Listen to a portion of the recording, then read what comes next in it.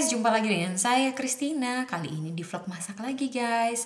Hari ini saya mau bikin roti sobek. Kepengen aja gitu loh guys. Dari tadi subuh saya uh, kebangun ya. Kebetulan kelaparan juga. Terus mikir, ini kayaknya kalau makan roti sobek enak banget deh. So hari ini, uh, siang ini saya mau bikin roti sobek. Semoga saja berhasil roti sobeknya. So ya langsung saja kita cek bahan-bahannya, oke? Okay? Bahan yang pertama tentunya kita pakai tepung uh, all-purpose flour. Ini yang saya pakai.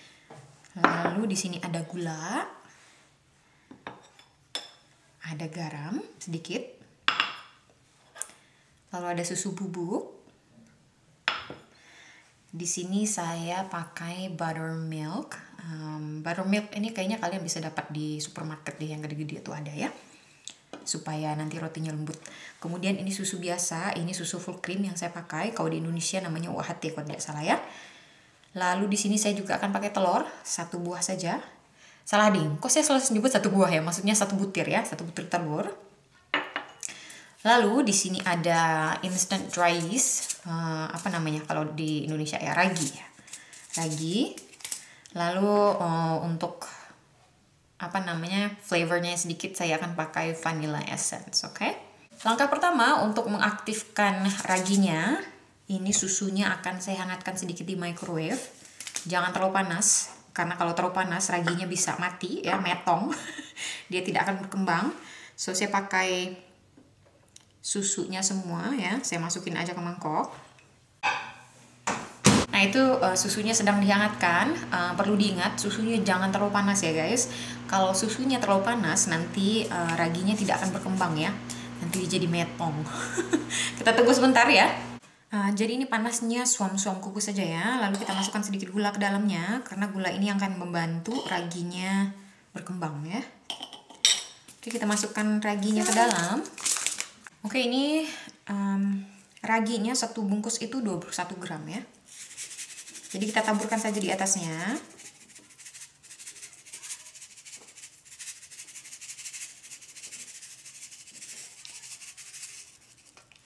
Kita tunggu kurang lebih 5 menit sampai raginya berbusa ya. Oke, raginya sudah siap. Kita akan langsung eksekusi uh, membuat roti sobeknya. Jadi di sini guys, saya tidak menggunakan mixer. Biasanya saya senang menggunakan mixer, cuman hari ini saya sedikit you know, uh, saya pakai tangan aja lah gitu ya supaya working out in the kitchen. Langkah yang pertama, kalau kalian mau masukin raginya duluan, silahkan ya tapi di sini saya akan masukkan dulu telurnya. Lalu buttermilknya. Yes. Lalu kita akan kocok sampai tercampur rata.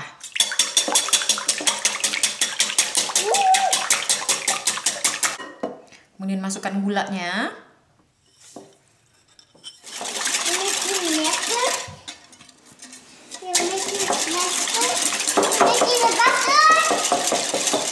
Lalu saya akan masukkan susu bubuknya.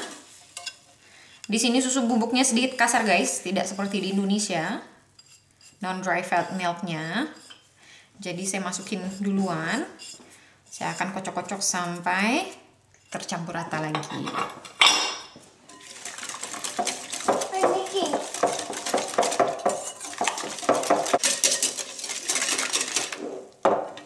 Oke, kemudian saya akan masukkan garamnya.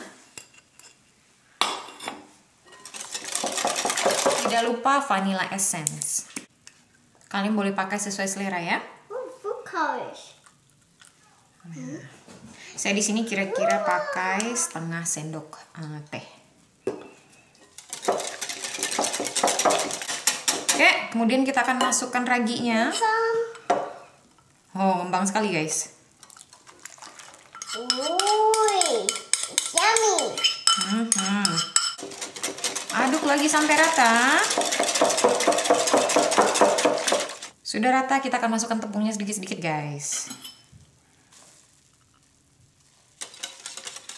Sambil terus diaduk.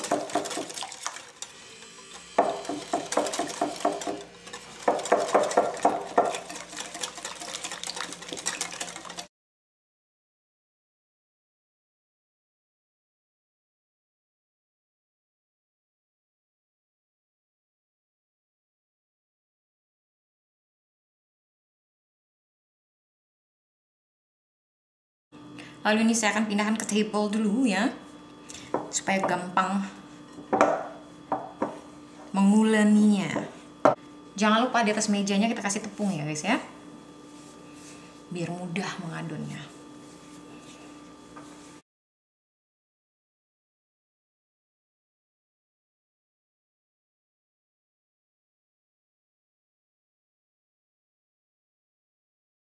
Sudah seperti ini, kita akan simpan doughnya di dalam mangkok. Mangkok ini sudah saya olesi dengan minyak supaya tidak lengket guys ya.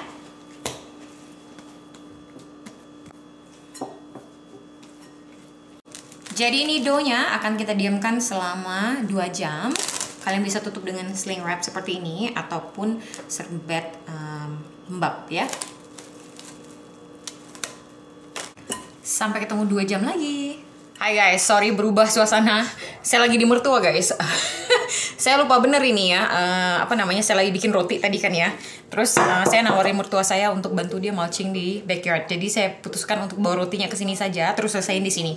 Nah ini sudah diperam selama 2, 2 jam tadi ya guys ya. Sekarang kita akan pindahkan ke dalam uh, baking tray sini. Yang ini nanti kita akan peram lagi selama kurang lebih 40 menit. Nanti sudah siap baru kita baking ya guys ya. Oke, jadi ini kita keluarkan saja dari sini. Wow, udah ngembang. Cantik banget nih, guys. Oh. Wow, super soft. Oke, jadi ini akan kita bulet-buletin lagi.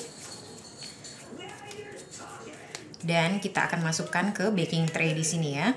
Nah, baking tray-nya ini tadi sudah saya semprot dengan canola oil kalau kalian tidak punya, dengan baru juga boleh atau minyak biasa ya. Wow, this really soft you guys. Semoga aja hasilnya enak ya. Roti sobek. Oke, saya mesti cepet-cepet ini. Saya akan selesaikan dulu sampai selesai ya.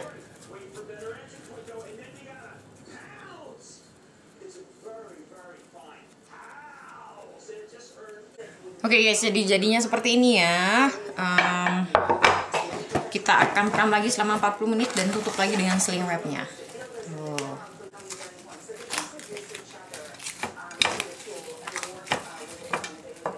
Nah, seperti ini. I'll see you in 40 minutes. Oke okay guys, saya kembali setelah 40 menit. Begini dia hasilnya guys. Mengembang ya. Tuh, jadi tinggal dipanggang. Kita panggang selama kurang lebih 15 sampai 20 menit. Dengan suhu uh, 350 Fahrenheit. Nanti Celsiusnya saya taruh di bawah sini ya. Jadi dipantau dengan suhu oven masing-masing karena setiap oven berbeda ya. Uh, biasanya sih 15 menit udah matang. Nanti kalau sudah matang saya kembali lagi ya.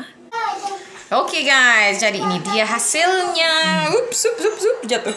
Uh, setelah 15 menit dipanggang ya. Yep, no key. Cantik kan?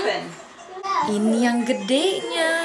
Oh, sebenarnya sih saya mestinya uh, letak itu empat uh, row ya, bukan tiga row begini. Saya tuh lupa lupa ingat gitu karena sudah lama tidak pernah bikin gitu ya. Jadi sekarang baru ingat harusnya empat row ya muatnya itu ya. Jadi terisi semua gitu guys. Jadinya bukan roti sobek nih sekarang ya. Oke, coba kita coba dulu ya guys ya. Panas nih.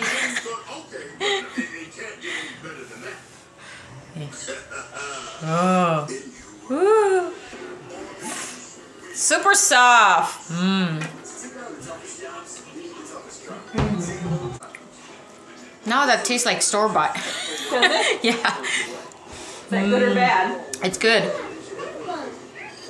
Enak banget guys. Lembut. Panas soalnya guys. Nih ya. Itu kan naik lagi dia. Menul-menul loh. Tuh. Kalian lihat sendiri kan? Oke gitu aja ya guys ya vlog masak kali ini. Buat kalian seperti biasa sudah nonton, saya ucapkan makasih. Kalau kalian senang resepnya, kalian boleh share. Nanti bahan takaran bahannya akan saya taruh di description box. Oke? Okay? See you in the next cooking vlog. Bye bye. Yum. Mmm.